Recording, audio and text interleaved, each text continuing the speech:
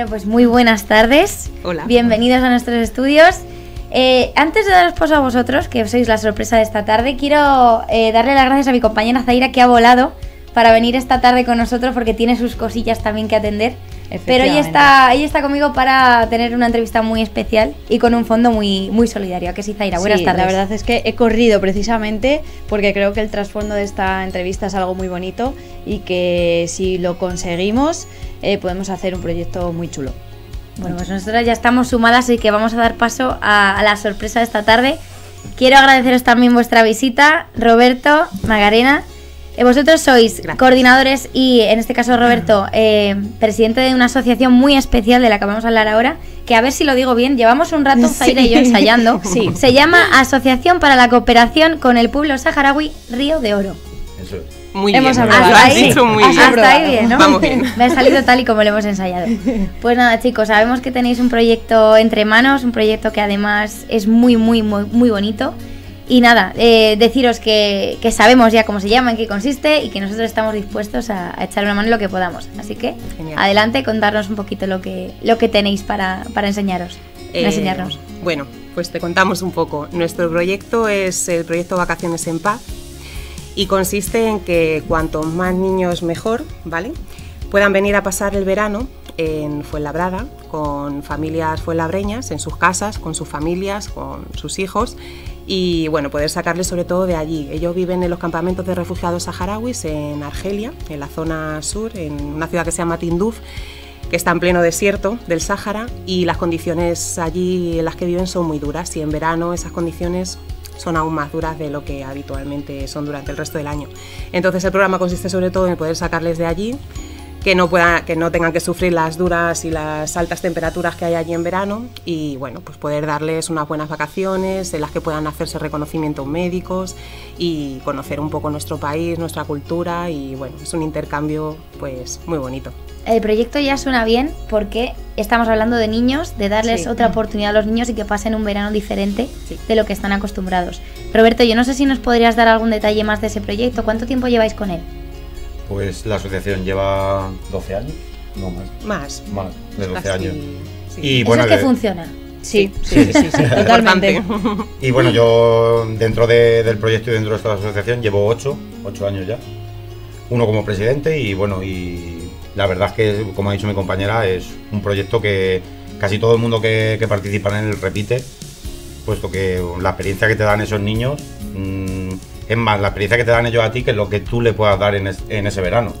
Que tú al final, pues eso, le das un verano haciendo unas vacaciones o llevándola al parque, a la piscina, como tú puedes hacer con tu familia, pero ellos te demuestran mucho más de, pues eso, de muchas cosas que les damos nosotros importancia, que realmente a lo mejor no tienen tanto y que ellos allí no la tienen y nosotros a lo mejor no seríamos capaces de vivir sin ellos. Y sí que es verdad que cuando luego se van, te quedas con la cosa, o sea, la sensación que te queda tuya es que ellos te han, te han enseñado a ti. ¿Cómo es esa acogida de esos niños aquí en Fuenlabrada? ¿Cómo vive a Fuenlabrada esa acogida? La verdad es que tenemos suerte de que el ayuntamiento nos ayuda bastante con tema subvención. También a las familias acogedoras le da un carnet de la piscina que durante los dos meses que están el niño pueden entrar gratuitamente a la piscina municipal. Y la verdad es que aquí en Fuenlabrada, nosotros la verdad es que de- vamos, no podemos quejarnos de- del trato que tenemos de las entidades públicas de, de lo que nos ayuda. Porque además, perdona Zaira que te corte, además vosotros sois parte de una asociación más grande y vosotros sois, digamos, como la delegación de Fuenlabrada. Y tenéis más compañeros en otros municipios, entiendo. Sí, este proyecto se lleva a cabo en todos los municipios de la Comunidad de Madrid, prácticamente en todos, y en todas las ciudades, comunidades autónomas de España. Es un proyecto a nivel nacional. Nosotros lo que pasa es que somos la asociación de aquí de Fuenlabrada y en concreto buscamos eh, familias de Fuenlabrada y también de alrededor. O sea, no hace falta que sean residentes aquí en Fuenlabrada, pueden ser de otros municipios también que estén cerca. De eso hablábamos justo, eh, lo que estás comentando de que no solo sean de Fuenlabrada. Eh, ahora mismo estáis en pleno periodo eh, para llamar a esas familias Sí. que estén dispuestas o quieran eh, acoger a estos niños que tanta falta, falta les hace. Sí. Eso es, estamos en pleno periodo de... Digamos de matriculación, sí, como en los coles. De captación de De captación familias. de ¿Cómo, familias, cómo veis eh, esa acogida? ¿Creéis que podréis llegar a más familias de las que ya acogen a niños? ¿O lo veis un Esperemos. poco Están ahí en- están en ello. Hombre, esa es nuestra, nuestra Nuestra esperanza. Por es eso estamos que- aquí esta tarde, Claro, eso es lo que queremos. Por eso es tan importante esta entrevista que estamos haciendo. Porque, bueno, como decíamos, allí hay muchísimos niños, la población es una población muy joven y se trata de sacarles de allí, de darles aquí un par de meses en los que, bueno, sus referentes allí tener en cuenta que viven en un campamento de refugiados y en un desierto, con lo cual prácticamente no conocen el mundo real. Ellos allí no ven prácticamente animales, no ven árboles, no ven flores, eh, no ven los elementos de la naturaleza que, a nosotros aquí tanto nos puedan gustar. Y también para su desarrollo personal pues también creemos que es muy importante aparte de que ellos están allí por un problema político mm, el Sáhara Occidental es una tierra eh, bueno pues que su descolonización ha sido digamos concluida correctamente y que ahora mismo se encuentra pues, es un pueblo dividido y ellos vienen también aquí como embajadores de, bueno pues de su causa de su causa política de su pueblo. Y es muy importante aquí cuando vienen pues nos reciben en el ayuntamiento nos reciben los grupos políticos que colaboran con nosotros nos recibe el alcalde nos recibe el concejal. Y es muy importante porque sí que damos visibilidad a su conflicto. Lo importante es que se resuelva Bueno, Mae, pues a mí me gustaría desde aquí, eh, por todo lo que nos han contado, hacer un llamamiento a todos los fuelabreños que realmente quieran participar en esta causa y que quieran abrir sus puertas a todos estos niños que realmente lo necesitan y que ne- necesitan de su apoyo y de todas las actividades que Fuenlabrada le- les pueda brindar. De hecho, Zay, lo que podemos hacer es eh, animar a esas familias, además facilitarles el acceso al programa. No sé si nos podéis contar de qué manera se pueden sumar a, a la iniciativa. Sí. Bueno, pues pueden contactar con nosotros en los teléfonos nuestros, el teléfono mío y el de Roberto. Ahora os lo damos si queréis. En el Facebook también tenemos página que se llama Asociación Río de Oro. Pueden contactar a través de la página de Facebook o por correo electrónico que es inforriodeoro.gmail.com. Y además se puede hacer hasta el 30 de abril, ¿no? Sí, Sí. Es que me hay informado. Sí, Todavía muy bien, has hecho los deberes.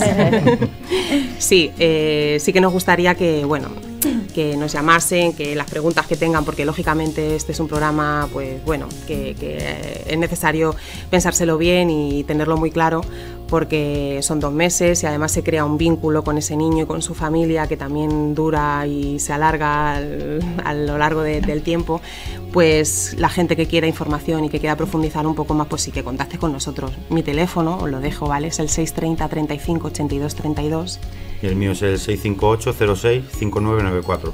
Así que nos pueden escribir. Aparecerán por aquí abajo. Además, perdona Mae, nos han contado antes que las familias que ya han acogido a niños otros años repiten. Eso es porque es muy chuli. Sí. Sí. O sea, al final el vínculo, quiero decir, al final el vínculo sí. que, que se crea entre la familia y los niños es tan fuerte que las familias repiten. Claro. Por lo sí. tanto, a todas aquellas que todavía no se hayan atrevido, que lo hagan, que seguro que es una, una aventura muy bonita. Sí. Yo de hecho, fíjate, fíjate cómo son las cosas, que me voy a venir más arriba aún y vamos a animar a las familias enseñándoles eh, Sí. a algunos de los grupos de niños que sabemos que han venido ya.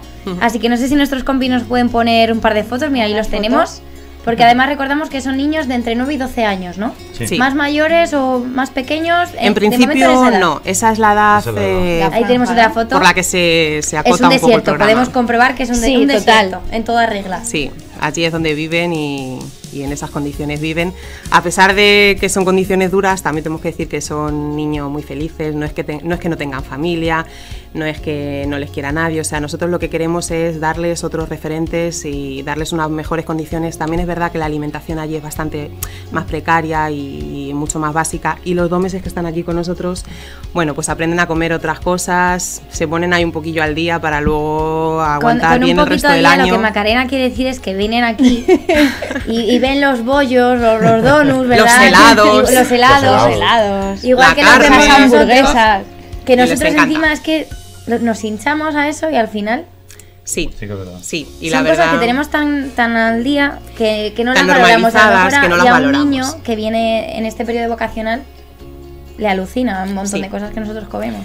Claro, totalmente. Y todo lo que contabas, las flores, los árboles, La Todo piscina. hasta un la grifo de piscina. agua les sorprende. cosas, La cosas llave de la tan- luz. que nosotros es que es lo que lo que contamos que en, A- en verdad no le cosas damos básicas. importancia ni Total. siquiera a la posibilidad de abrir un grifo y que salga algo corriente. Fíjate Sí. qué tontería para nosotros y para ellos es un mundo. Es un mundo, sí.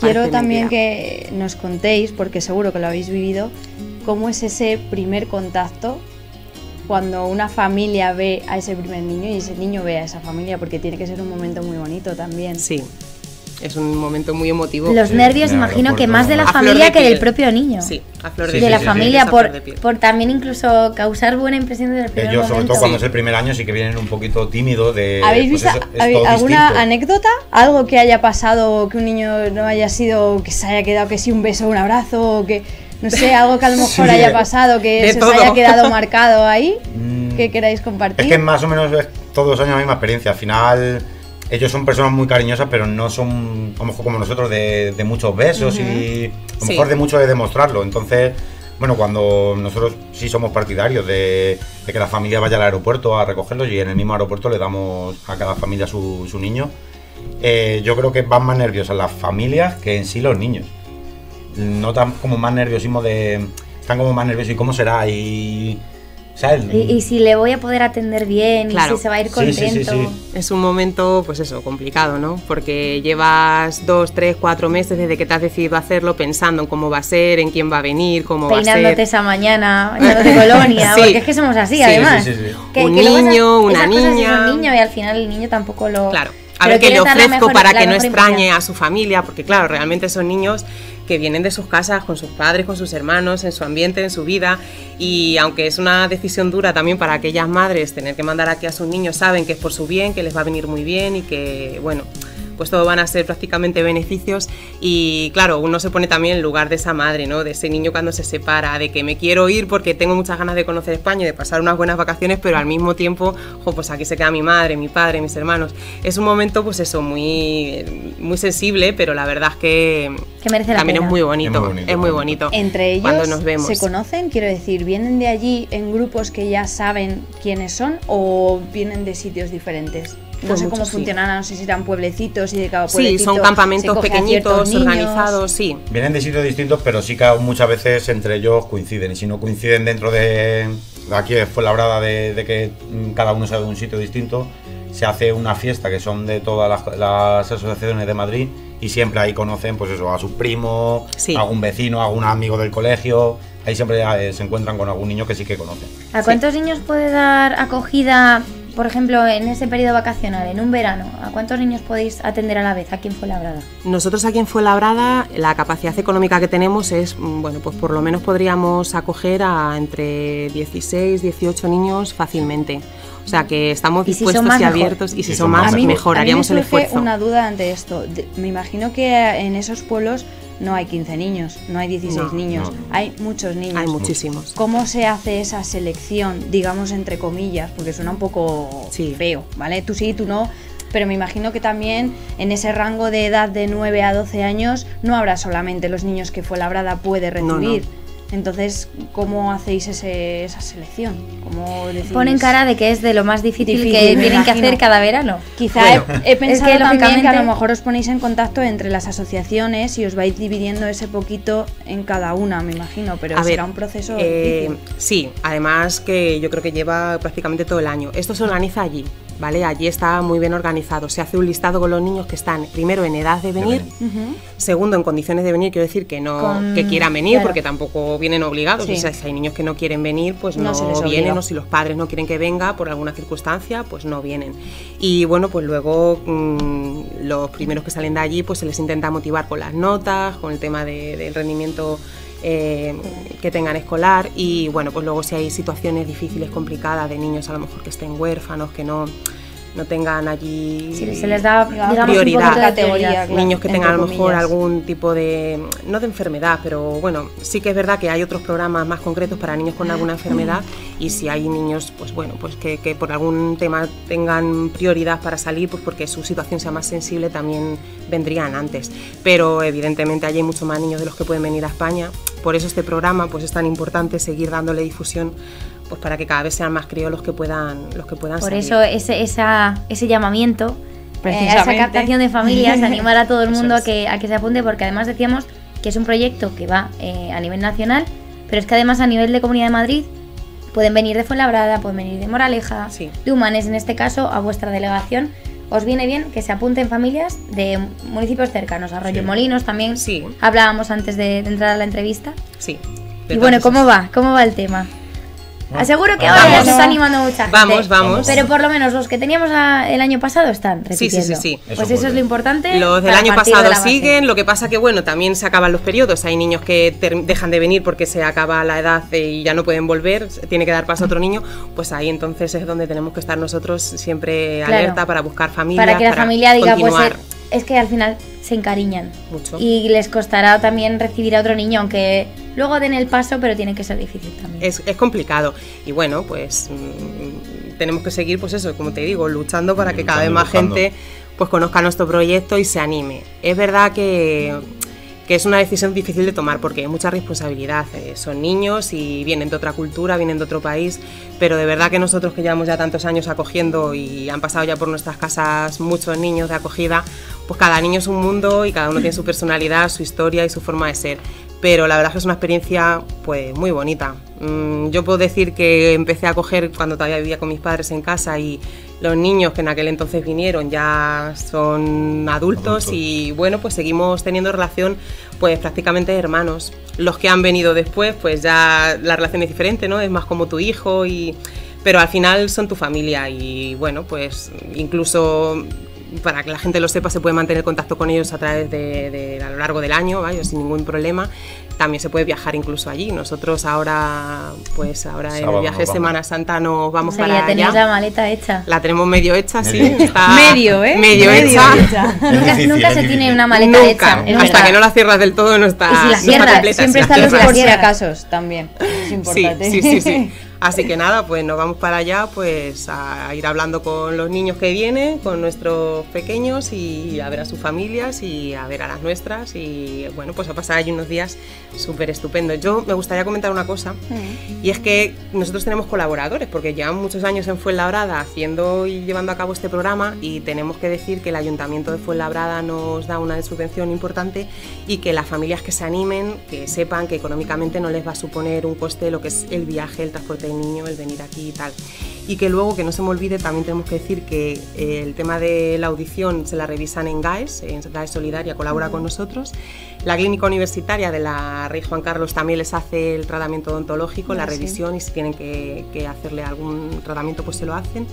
El Hospital Universitario Fuenlabrada colabora con nosotros porque también les hace la revisión, un día quedamos allí con ellos, nos atienden fenomenal, les hacen una revisión completa para que si hay algún problema de salud pues podamos tener constancia de ello y tratárselo. Y luego la Fundación Ruta de la Luz que también colabora con nosotros con el tema de gafas, si algún niño necesita, pues porque no vea bien y tal. Y nada, pues muy agradecidos que estamos y también para que las familias sepan que más o menos está todo Cubierto. organizado. que está atado, que no es, no es acoger un niño y hacerte cargo de él y No. lo que te cueste, No. No, no. sino que está, que... que- además es, es Sí. de eso precisamente de lo que se trata, de que las familias se animen y que no les suponga tampoco un coste súper Claro. elevado, porque claro. Está claro. todos tenemos nuestros gastos, todos tenemos nuestras cosas, pero que además que sepáis que si os animáis, que desde aquí os animamos, eh, animamos. la experiencia, además de el, el coste va a ser el tiempo que, que empleen, básicamente. Sí, y bueno, el día a día aquí, la personas en tu estancia. casa y ya está. Eso es. No, no, es, no es más.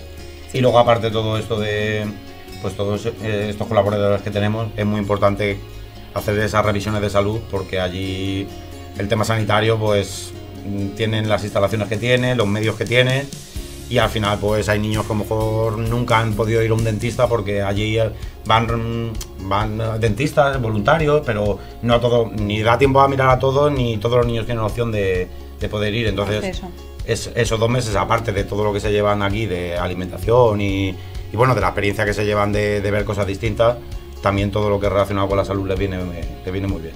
Sí, el tiempo que están aquí están atendidos desde el principio hasta el final. Es. De hecho, yo os quería Sí. preguntar, porque aparte de cerrar la maleta, que eso cuesta su tiempo y su esfuerzo, imagino que también la tarde de planificar a todos los sitios a los que os vais a llevar a los niños, porque hacéis una cantidad de actividades con ellos Muchas. increíble. De hecho, os quería preguntar porque nos consta que se lo pasan genial. Sí. Así que Claro. contaros un poco qué actividades hacer. La piscina, ya hemos comentado, qué más cosillas. Uf. Puf, Hacemos- taller, me por imagino, ejemplo, talleres. vamos, el año pasado lo llevamos al Bernabéu, hicieron el, el tour del Bernabéu. Bueno, entonces van a ser todos del, Ma- del Real Madrid.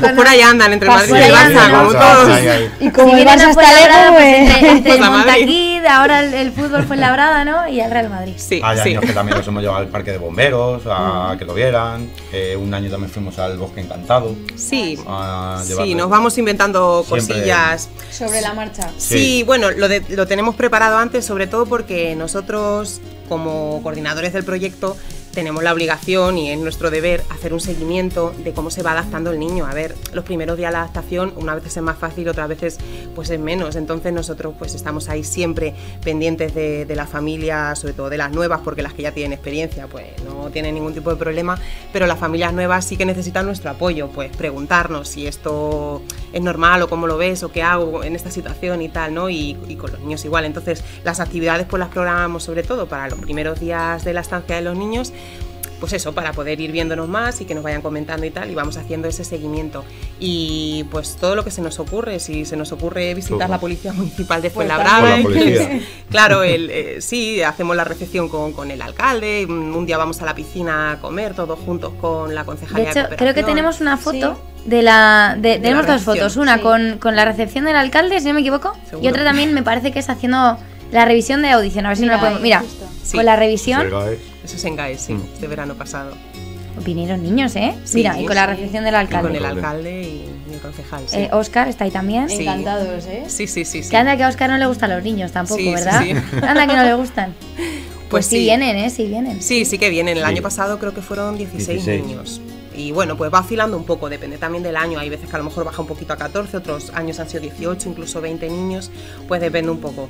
Pero como os decimos, pues nada, estamos dispuestos a que todas las familias que quieran nos pidan información, nosotros vamos a quedar con todo el mundo y les vamos a dar, pues eso, vamos a sacarles de todas las dudas que tengan porque lógicamente este proyecto pues es muy importante y suscita también pues muchas dudas y muchas preguntas y bueno, Bueno, os recordamos que Macarena y Roberto nos han dado sus teléfonos para que les molestemos a todas horas. Van a salir por aquí.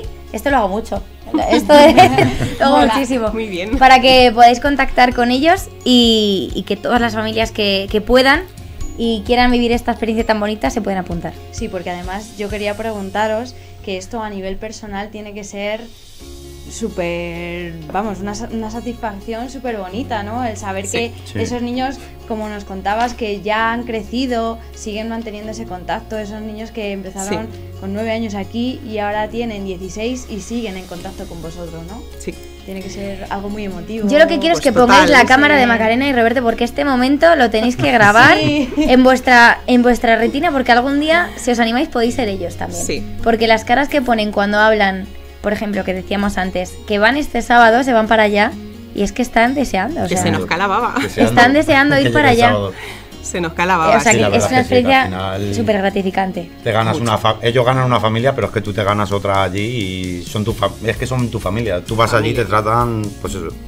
Familia, familia. familia. La familia y la sangre no siempre van unidas, sí. Y en este caso, vamos, yo lo puedo decir y creo que ca- casi cualquier persona que haya acogido un niño sabe que al final pues uno termina siendo familia, que los vínculos por suerte no se rompen y bueno, pues nada, que va viendo uno cómo evolucionan esos niños, que empiezan a venir siendo unos renacuajillos y van creciendo, van creciendo, van haciendo su vida, se casan, tienen hijos y, y siguen siendo parte de tu familia. De hecho, Entonces- Macarena, nos han dicho un pajarito. A mí es que yo me entero de estas cosas, es lo que tiene ser periodista.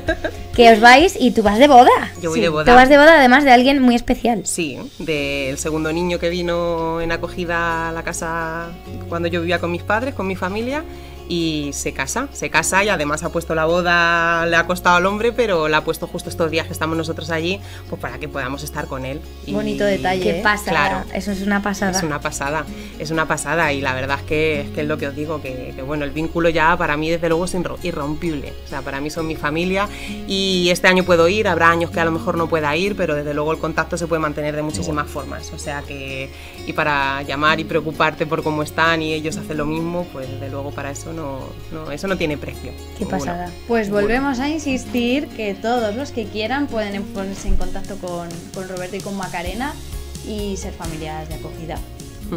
Yo, es que me ha gustado. De mucho. verdad, o sea, yo lo sigo repitiendo a ver si Sí, tenemos sí, suerte. estamos, y eh, vamos, estamos sumadísimas a la causa. O sea, de aquí, Genial. dentro de un rato ponemos un WhatsApp a ver si. Yo Sí, hablar con ¿habéis mis?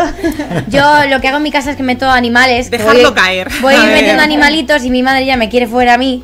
Entonces esto lo tengo que consultar porque es muchísimo más eh, importante. Y yo soy un caso perdido. O sea, yo me dejo las llaves en todos sitios. Imagínate, ¿no? Me tendría que cuidar él a mí, prácticamente. Casi, casi. Pues, bueno, de sería un ten ten, no te. No, no, vamos, y además yo no lo dudo, seguramente me cuide muchísimo mejor y me lo voy a pasar bomba. O sea, Seguro- mis semanas se van a hacer sí. mucho más llevaderas. Seguro que Seguro, sí. seguro. Yo quería comentar una cosa, A ver. porque bueno, algunas veces nos preguntan pues cuáles son los requisitos para ser una familia de acogida. Realmente requisito, requisito como algo económico o algún tema legal no hay. O sea, nosotros lo que, lo que necesitamos son familias que puedan acoger a un niño, que puedan atenderle durante los dos meses que están aquí. Eso es lo más importante. Hay gente que por suerte pues a lo mejor trabaja en un colegio o tiene algo que ver con el mundo de la educación y no trabaja durante todo el verano.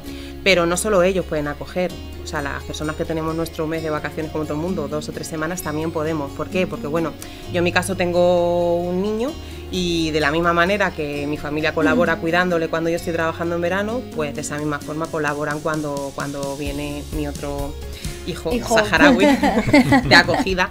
Y por eso digo que realmente, bueno, pues mientras que se pueda atender al niño durante los dos meses que está aquí, eso es lo más importante. No hay requisitos de renta ni de estar casado, ser familia tal, tener hijos, no tener una edad, no.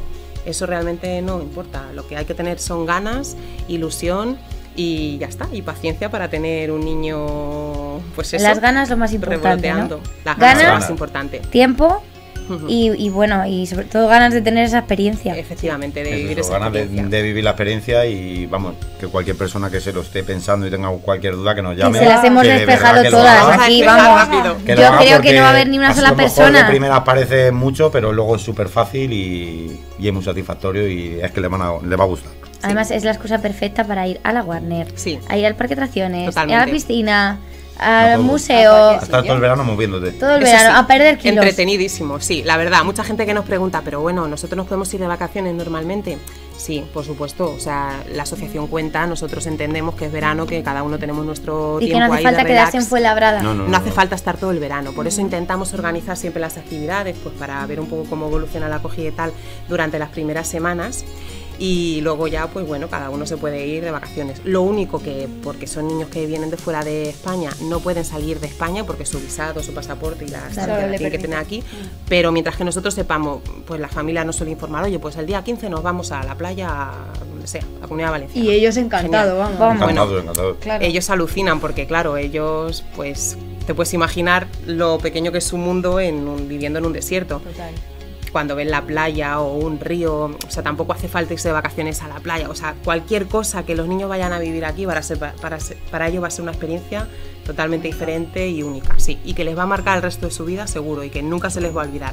Allí cuando vamos, mm, a ti te hace gracia, ¿no? Porque los críos siguen pensando que aquí el mundo es tan pequeño como el suyo y te vienen Sí. con la foto y dicen, ¿tú conoces a mi familia de Alcorcón? Mira, te la enseño. Se llama Carmen. Te- Se llama Carmen y él se llama José. Y Vale. dice, no me suena, no, no les conozco. Sí, ellos tienen eso, la- esa referencia Claro, de que un todo muy es como ellos. y no y- Allí se conocen es prácticamente, supergrande, claro, claro. prácticamente todos. Y las fotografías, pues para ellos, vamos, a lo mejor han pasado 3, 5 años o han venido el verano pasado, las fotografías están todas manoseadas, claro. se vamos, lo muy enseñan a toda vistas, la se ve. familia, su abuela, todo el mundo. Para Claro. ellos, claro, la experiencia que viven aquí, desde luego, es algo que no se les va a olvidar el resto de su vida. Y lo que aprenden y lo que viven mm, les marca ya para, para siempre. Claro, claro que Pues sí. con esa lección importante nos vamos a despedir, que con muy poquito podemos hacer muy felices a otras personas, además en este caso niños, que es algo súper importante. Debería haber más gente como vosotros. Ojalá. Sabemos que hay muchas asociaciones, pero esta en concreto sabemos que estáis siempre al pie del cañón, Sí. porque lleváis muchos años. Os deseamos la mejor de la suerte, ¿verdad, Zaira? Por supuesto. Y muchas que, que este verano esté fue labrada llena, por favor, de niños saharauis con una sonrisa de oreja a oreja y que podamos verlo esperemos. Y que nos podamos cruzar. Incluso podéis venir cualquier día Ya que queráis los traeremos. a la radio. Sí, Yo saharaui no hablo, De las, Da igual, Pero- ya, ya hablan ellos en castellano, ¿eh? no te hablan preocupes. pero oye, que yo soy muy simpática y Zaira también. Nos Sí, ponemos sí. en un momento. Ya, no- Además- ya nos pondremos de acuerdo, no te de las cosas más bonitas que hay es la sonrisa de un niño. Sí. Zaira es que eh, además sí, tiene yo mucho que con contacto los con niños. Tengo mucho, mucho feeling. Pues si mezclas la sonrisa de un niño con la solidaridad, Zaira un puede, los total, puede enseñar sí. flamenco, Sí, si queréis. Sí, por Pues ejemplo. estaría Bailar. genial. Cualquier Nada. cosa de baile, vamos. Te sacamos ahí un poquito de compromiso, ¿eh? Zaira? Sí, sí, sí. Eh, ahora te estamos, en riguroso directo, podéis pedir lo Total, que queráis. total, pedirme, pedirme. Meterla Pues en un que te llamaremos, Zaira. A mí. Antonio, a mí Antonio que está allí en cabina, Sí. hace un par de semanas me hizo la misma de meterme en un compromiso y este domingo he corrido una carrera solidaria y hoy no me puedo bajar de esta silla. Pero oye, pero yo me dice mi madre a las poquito, 6 de la mañana, pero qué solidaria te has vuelto y digo, "Ay, sí, no sé así, si lo que, que hago. tengo una vamos". apuesta pendiente. Sí, sí, pero bueno, lo Bueno. bonito que es eh, Muy bonito. acoger a alguien, correr una carrera sabiendo que vas a ayudar a, a otra persona. Pues sí. Eso no lo llevamos Eso es total, todos. eso no tiene precio. Así. Eh, muchas Muy bien. gracias por haber venido A y habernos vosotros. Muchísimas gracias, chicos. Y Muchas ojalá gracias. y podamos hacer muchas cosas desde aquí. Ojalá. Muchas Y gracias. nosotros nos vemos pronto. Gracias Roberto, gracias, Gracias. Macarena. Gracias. Y nada, Zaira, nosotros nos despedimos que, ya, es hora de, de marcharnos, que estamos aquí hablando todo el día, ¿verdad? Ya toca. Nos vamos. Adiós. Chao.